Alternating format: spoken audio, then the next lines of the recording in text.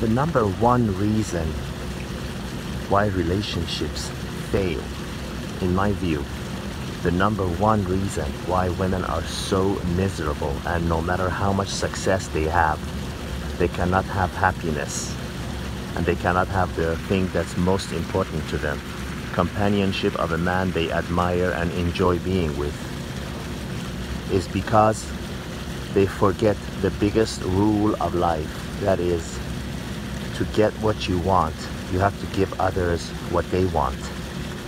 That's actually the fastest way to obtain anything that we want is by giving others what they want. Uh, going back to the same old simple principles of if you want to succeed if you want to be wealthy find a product that people want and need and are willing to pay for. It really is as simple as that back to the main uh, subject of relationships and why so many women in the West mostly are unhappy is because I am, um, you know, I am as as forward thinking as as the next guy. You know, I believe in 100% uh, freedom of, of women politically, politically and business-wise, and in every other way. Women should be having the same 100% uh, rights and opportunities as men do. I sincerely believe in that. But if you look at old movies, if you look at old movies, uh, especially uh, the ones from the from the Middle East, let's say, you know, let's be realistic, where civilization started, you will see that in relationships, uh, it was the man that the women looked up to. It was the man that women looked for guidance. It was like, you know, almost like, uh, almost like a uh, you are uh, you're a father and you've got your little, uh, you know, uh, a child, little girl, little daughter with you, you know, or, or a little boy, your your son, and he follows your orders, looks up to you, respects you, and does what you tell them. The relationship between husband and wife was like that. Not that the man ordered her around and, and imprisoned her and, and told her what to do and how to uh, live her life and what to say and what to be, but she naturally, instinctively looked up to him, looked for his guidance, looked for his advice, looked for his leadership, and looked for his strength. Because those, are, we're going back to the beginning now of, of civilization, because those were how nature was. That was the, the natural order of nature and the way things, you know, ought to be. Woman played the woman's role and men played the man's role. And it felt good for both of them.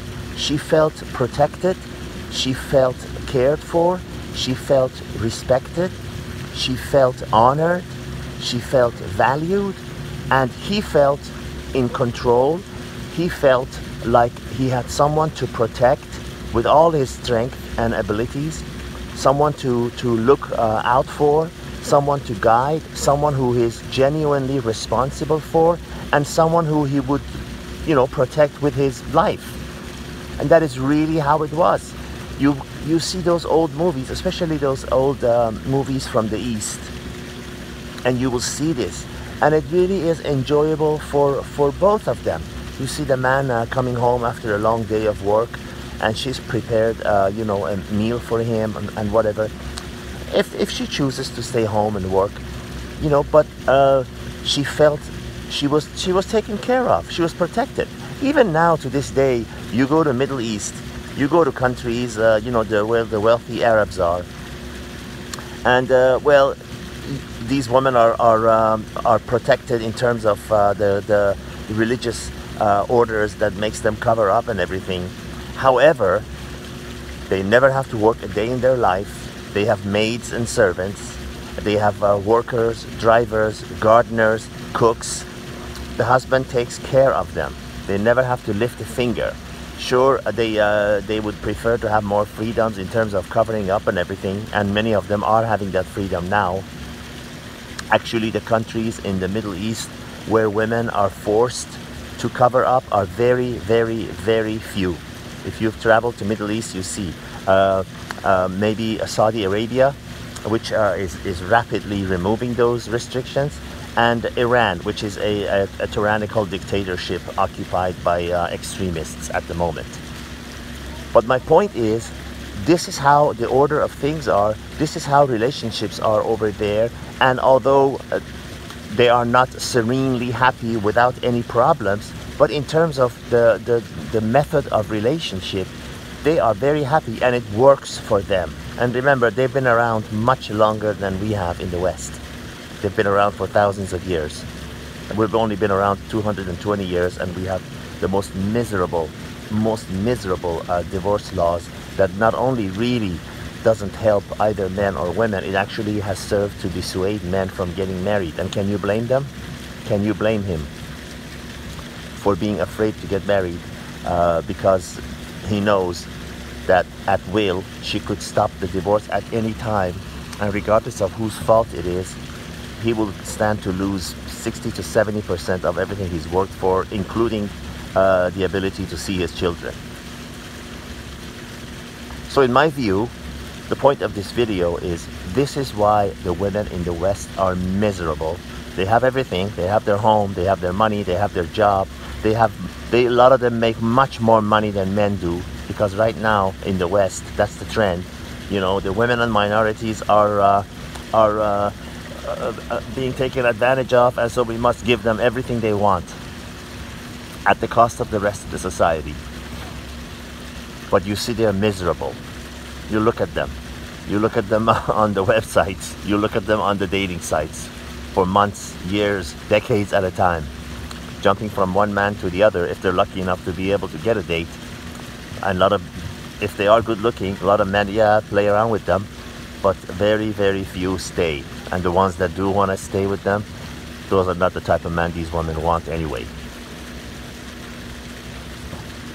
Think about what I've said if you have a chance watch those old uh, movies from the Middle East and you'll see what I mean. It's apparent in the demeanor. It's apparent and you'll see. You'll see how a man you'll get reminded how a man wants to and should feel and how it's natural for a man to feel in a relationship with a woman and how it is how it is supposed to be when men and women are together for romantic reasons.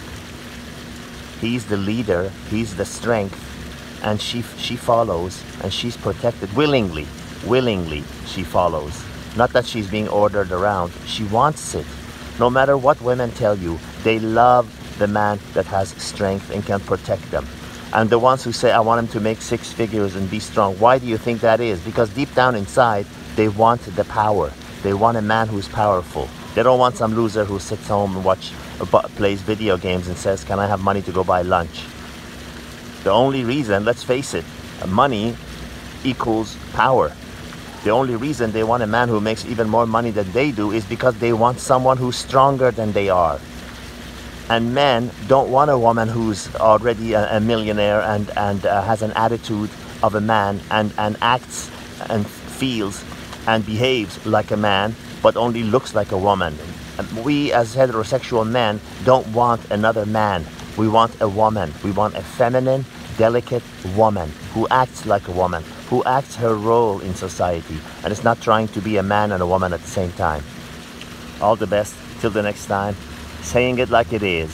Seymoure signing out.